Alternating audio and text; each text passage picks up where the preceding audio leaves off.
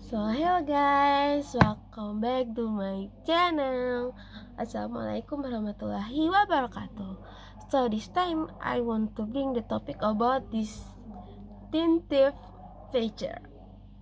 Distinctive feature is to be the a pyramid that plans the future of the vowel and the in the lecture within the vowel reception and discussion modern phonological rule the basic distinction feature.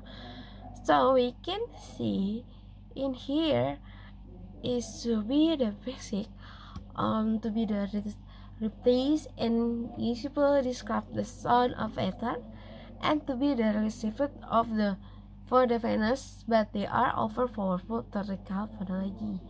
And indicate we can see the minimal the future is the vowel is consonant to be the square root the fine rounded in the phonological feature is introduction is the equal the major class and the collective feature is to be the net is can be to be the uh, something that is efficiency and specific includency in distinctive picture is describing phonology of animal to provide to explain the natural classes and the in illustration their benefit for using a phenomenon to the especially to define their uh, pattern of phonological rules the phonetic assessment to be the favor or uses the of this system picture what and acknowledging to be the considered important of the phenomenon.